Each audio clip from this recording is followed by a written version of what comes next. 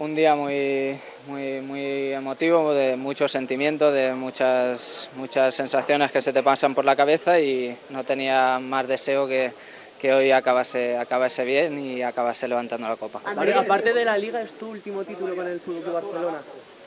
Bueno, esta semana me pronunciaré sobre, sobre la decisión que, que tengo que, que tomar y, y bueno, más allá de eso, pues muy, muy feliz del día de hoy. Es, lo, que me, lo que me mueve ahora y lo que pase dentro de unos días, pues ya, ya se verá. Ya es una cosa que, que no puede ser de, de un día, ¿no? Tanto si, si, si, sigo como si me voy, es una decisión muy, muy pensada y muy meditada.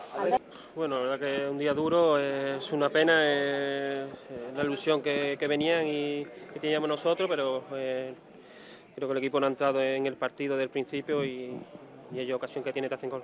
¿Te has olvidado Roma? Bueno, olvidar, olvidar, no, no se va a olvidar en ese sentido, porque bueno, también queremos eh, hacer lo nuestro en la, en la, Champions, pero no pudo ser, pero ya, ya lo dije, después ya cuando pasan dos o tres días hay que olvidarlo, porque el fútbol no para, así que creo que hicimos un, un gran partido eh, hoy, que también hacía falta jugando contra uno de los mejores de España. Y se gana el doblete, la liga está ya a punto.